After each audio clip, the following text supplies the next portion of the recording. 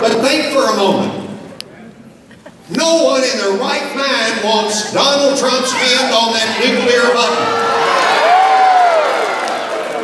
An unstable, emotional show guy who doesn't have an idea in the world about what diplomacy is about.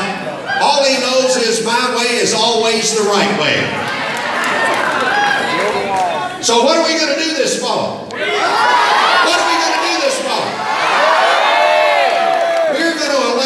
person who, quite honestly, when you look at history, is the most experienced person to ever run. And we're going to